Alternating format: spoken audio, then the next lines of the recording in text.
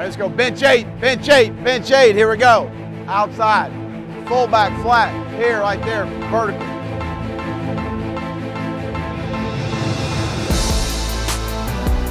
Now, the only thing that changes is if two's vertical on the over out, you can leverage this from out from inside out. Buzz him, buzz him, buzz him.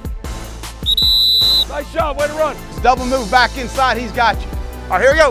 Here, go, come on, go, go, go, come on, out, get out. Good, good, good. You walking your own. Here we go. Good job, Jeff. Nice job, Jeff. Good, good. Stay on top. Collision all moves. Good. Inside out, inside out.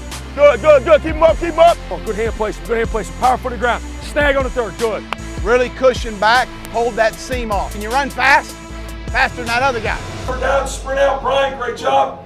Watch it now. Watch Brian, watch Bo. Eyes to the sideline, give me the next call. Do we all see that? That's the mentality you got to play with. All right, spot the ball. We'll be ready. We're going to beat the offense to the ball. They want to go tempo, we'll go faster. Oh, you can't catch him. Get it out. Good, good, good, good, good. Wait, right through his elbow.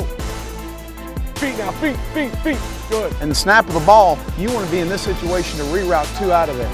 You understand? Athleticism, quickness, you know, like a young Muschamp running around out here, huh? Yeah, no, yeah. Vernon Hargreaves, Will Muschamp, very similar athletes.